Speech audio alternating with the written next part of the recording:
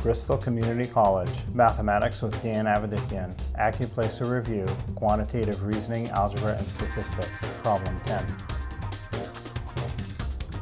This is problem 10. It says the volume of a right rectangular prism is given by multiplying the length of the base by the width of the base by the height of the prism.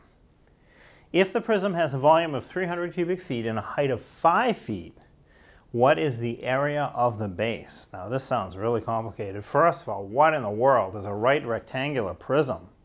Well, that's a fancy word for it's a block.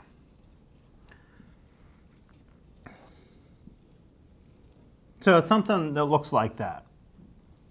Let's try to make that a more parallel. Um, so they're saying a thing that looks like this. You can calculate the area by multiplying the, what did they give us first? The length of the base times the width of the base. So it doesn't matter which one you call width and length. So let's say that's the width across the front from here to here. The length going this way times the height. That one's more obvious. So what they're saying is the answer when you multiply all that stuff comes out to 300 cubic feet. If you multiply the width times the length times the height, the answer is 300. And the height is 5.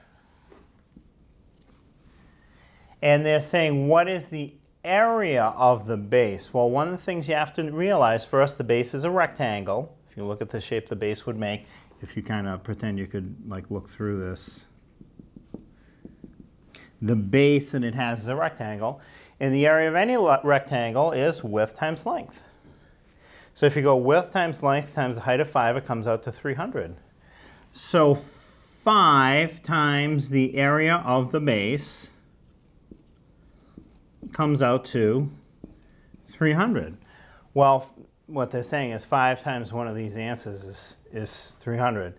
Well, 5 times 200 is 1,000. 5 times 400 is 2,000. Way too big. We're trying to make it come out to 300.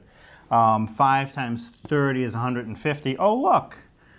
5 times 60 is 300. So if the area of that base is 60, 5 times 60 gives you that total 300 cubic foot volume.